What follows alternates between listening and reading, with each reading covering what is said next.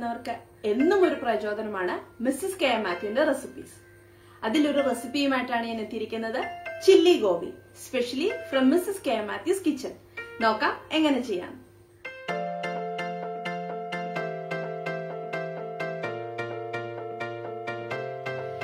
Chilli ഗോപിക്ക് അര kilo cauliflower ആണ് ഞാൻ ഇവിടെ എടുത്തിരിക്കുന്നത്. ചെറിയ ചെറിയ പൂക്കളായിട്ട് അടർത്തിയെടുത്ത കോളിഫ്ലവർ ആണ്. അതിലേക്ക് ഒരു രണ്ട് ടീസ്പൂൺ സോയ സോസ് ഒഴിക്കാം. നല്ലപോലെ ഒന്ന് മിക്സ് ചെയ്തെടുക്കാം.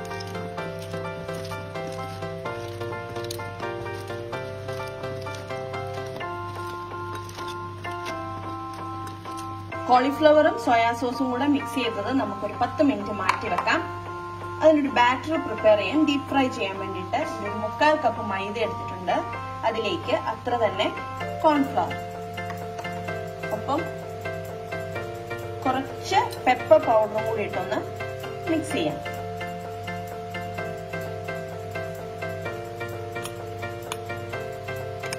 ഇതിലേക്ക് ഒരു നാല് ടീസ്പൂൺ സെലറി ചെറുതായിട്ട് അരിഞ്ഞത് ഇട്ട് കൊടുക്കാം. ഒപ്പം ഒരു മൂന്ന് പിഞ്ച് ബേക്കിംഗ് സോഡയും കൂടെ ചേർക്കാം. അപ്പോഴാണ് ആ ബാറ്റർ നല്ലപോലെ ഒന്ന് കുതിർന്ന് നിർത്തി വരുള്ളൂ. അതിന്റെ ഒപ്പം തന്നെ ഒരു മുട്ടയുടെ വെള്ളം ഒന്ന് ബീറ്റ് ചെയ്തെടുത്തതാണ്. ഇതും കൂടി ചേർത്ത് നമുക്ക് ഒന്നുകൂടി മിക്സ് ചെയ്യാം. ഇതിലേക്ക് പാകത്തിന് വെള്ളം ഒഴിക്കാം.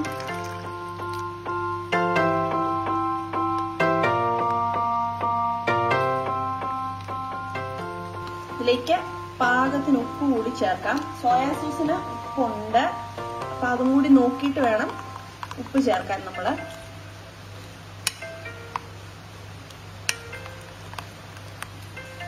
പുരട്ടി വെച്ചിരിക്കുന്ന കോളിഫ്ലവർ ഓരോന്നും എടുത്ത് മാതിരി ഡിപ്പ് ചെയ്ത് ചൂടായ എണ്ണയിൽ വറുത്തു പോരാം നല്ല റെഡ് കളർ ആകുന്നിടം വരെ നമുക്ക് വറുക്കണം.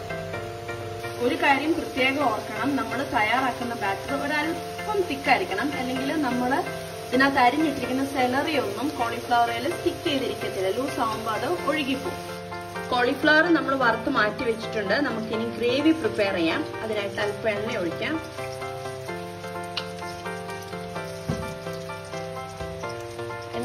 ചൂടാവുമ്പോഴേക്കും അതിലേക്ക് ഒരു പത്ത് വറ്റൽമുളക് ചതച്ചതും ഒരു ഒരു ടീസ്പൂൺ ഇഞ്ചി ഗ്രേറ്റ് ചെയ്തതും ഒരു ടീസ്പൂൺ വെളുത്തുള്ളി ഗ്രേറ്റ് ചെയ്തതും ഒരു ടീസ്പൂൺ സവോള ഗ്രേറ്റ് ചെയ്തതും കൂടെ നമുക്ക് നന്നായിട്ടൊന്ന് വഴറ്റിയെടുക്കാം. വഴണ്ട് വന്നിട്ടുണ്ട്. അതിലേക്ക് ഒരു ടീസ്പൂൺ മൈദ ചേർക്കാം. അതൊന്നും കുറുകി വരാനാണ് ഗ്രേവി. പിന്നെ ഒരു കാര്യം ഓർക്കണം. എപ്പോഴും ചൈനീസ് ഡിഷസ് പ്രിപ്പയർ ചെയ്യുമ്പോൾ ഹൈ ഫ്ലെയിമിൽ വെച്ചിട്ട് വേണം പ്രിപ്പയർ ചെയ്യാൻ. ഇനി അങ്ങനെ ചെയ്യുമ്പം കരിഞ്ഞു പോകും എന്ന് പേടിയുള്ളവര് ഒരു മീഡിയം ഫ്ലെയിം വെച്ച് ചെയ്യണം. ലോ ഫ്ലെയിമിൽ വെച്ച് പ്രിപ്പയർ ചെയ്താൽ ടേസ്റ്റിൽ ഭയങ്കര വ്യത്യാസങ്ങൾ വരും. മൈദ ഒന്ന് അതിന്റെ പച്ചമണം ഒന്ന് മാറട്ടെ. മൈദയൊക്കെ ഒന്ന് മൂത്ത് വന്നിട്ടുണ്ട്. നമുക്ക് ഇനി ഇതിലേക്ക് നാല് ടീസ്പൂൺ ടൊമാറ്റോ സോസ് ചേർക്കാം. ഒപ്പം തന്നെ ഒരു ഹാഫ് ടീസ്പൂൺ ചില്ലി പൗഡർ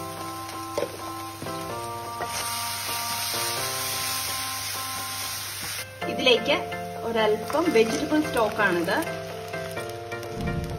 ഒരു കപ്പോളം വെജിറ്റബിൾ സ്റ്റോക്ക് ഒഴിക്കണം. അതൊന്ന് കുറുകി വരണം.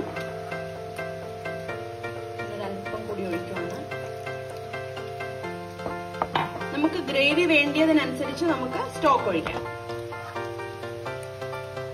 ഇതിലേക്ക് ഒരു രണ്ട് ടീസ്പൂൺ വിനെഗർ ഒഴിക്കുകയാണ്. ചെറിയൊരു പുളിക്ക്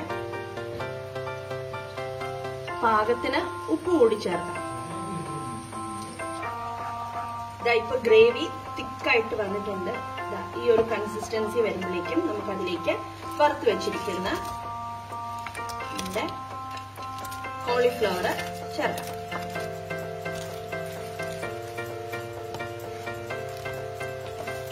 നല്ല തിക്ക് ഗ്രേവി ആയിട്ട് കുറുകി വന്നിട്ടുണ്ട്. നമുക്കതിലേക്ക് അരിഞ്ഞു വെച്ചിരിക്കുന്ന ക്യാപ്സിക്കോ അല്പം സെലറിയും കൂടെ വിതറി ഒന്നുകൂടി ഇളക്കി ഒന്ന് സെർവ് ചെയ്യാം. ക്യാപ്സിക്കം സെലറി ഒരുപാട് വെന്ത് പോണ്ട അതൊന്ന് കടിക്കാൻ കിട്ടണം.